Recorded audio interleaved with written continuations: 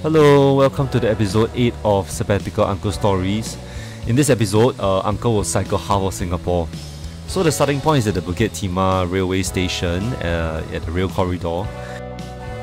So this challenge is sort of inspired by an NParks uh, site that talks about this uh, phase one of the round island route. I, I guess in its completion, it will be uh, circling the whole island.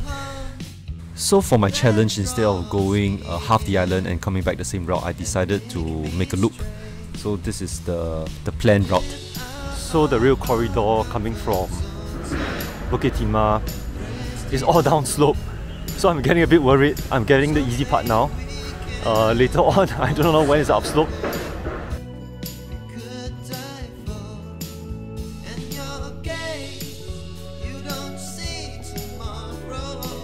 So we are near, we are behind Metropolis.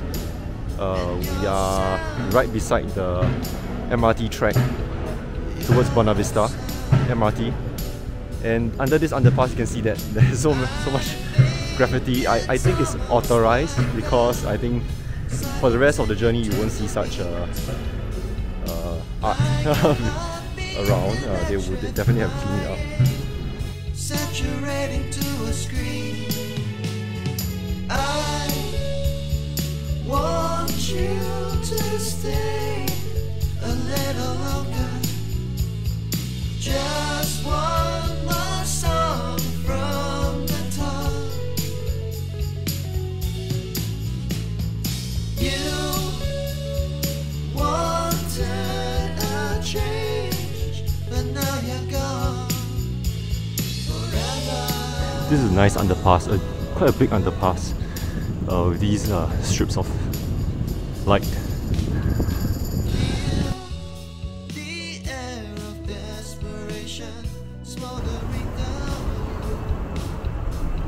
I'm probably like at 5% mark at the moment, maybe 5 km.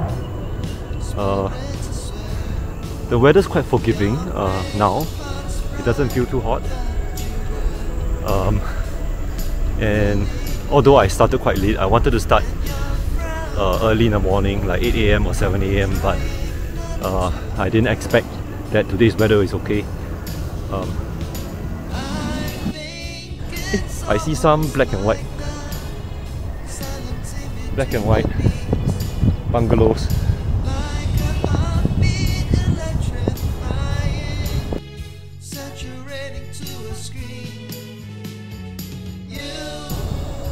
Actually, it's quite difficult to. I, I think it's much more time consuming if you want to cycle and try to document your journey via the video. Because you think of what you want to say, you want to cycle when you're cycling, and then you are already not thinking when you're tired.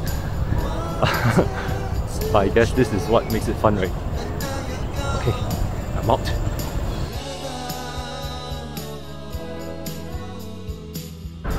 Okay, so I reached one end of the rail corridor. We are at Tanjong Pagar side. Uh, so basically, when you reach here, we need to make a turn, a left turn into Spooner Road. Uh, yeah, so you have to go that way. As a recreational cyclist like me, uh, my packing list includes a camera uh, to record uh, the journey. Uh, I didn't bring snacks, but I think you can bring it uh, just as long as it doesn't melt. Uh, bring water bottle, you have a helmet. It's important to cover yourself uh, from head to toe, I think. Uh, so I got sleeves, uh, gloves, uh, bring some block, bring some money, and also importantly, of course, your phone and uh, Bluetooth uh, earbuds so that you can listen out for directions uh, from Google Map.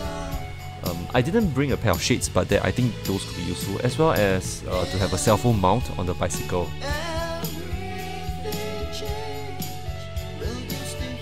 I'm not gonna take a break here. Uh, so not so tired. I'm probably at 50% of the journey. 50%, 85 more km to go. Okay. Because I didn't really adequately prepare myself for this cycling trip, I didn't uh, manage to get a camera mount on the bike. So whenever you see video footage of uh, me cycling. I'm, I'm actually holding onto the camera with my hand, uh, hoping that the stabilization feature for the phone will, will work, although it's quite bumpy. If you look carefully, the, the sea has like two tones a greyish green tone and a dark green. And then the container ship is just parking. Didn't we have moments of blissful clarity? Unyielding loyalty. Things we make believe, like love will set you free. I'll pour over the memories and shore up the skills. So I think I'll go for it. Maybe I'll get some snacks just as a just as a backup in case I get hungry. Uh, hope it doesn't melt.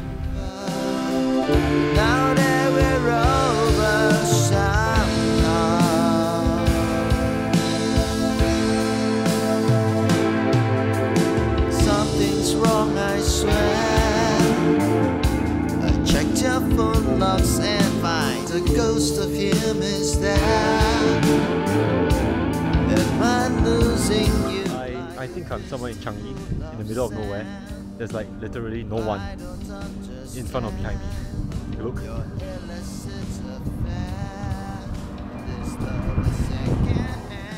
I have to admit that for this uh, part of the trip is uh, it's quite uh, boring. Uh, the reason is because there's not much things to look at, and I'm alone. So the winds are, are quite strong, and I, I feel like the I can really feel the wind resistance. Okay, right now I'm at Changi Village Hawker Center. I think I'm at the midway point. I'm completely shacked out. Uh, but at least I gotta have my lunch now.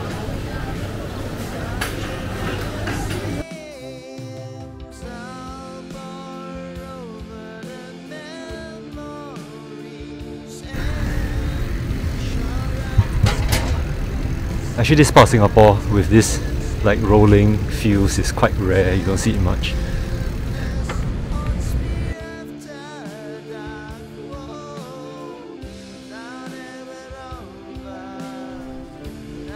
During the second part of the journey, I keep thinking to myself that why is Punggol so big?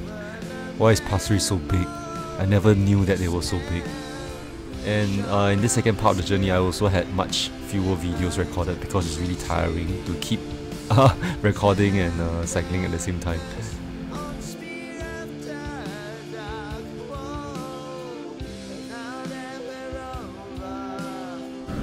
Okay, we're at Yishun Dam.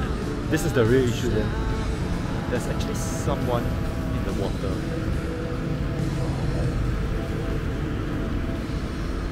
Right now it's around 4 4 p.m. I still have maybe two and a half hours of daylight to get back home.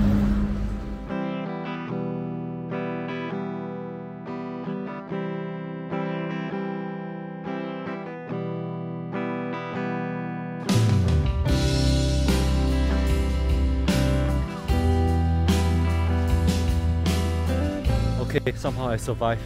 Uh, this is the Hillion Mall uh, entry into the park connector. So this part of the park connector is really not very developed. Uh, you can take a look. It's like that. Oh my god, the cycling is gonna be so tough. Uh, you remind me of the cycling I do in Kyoto.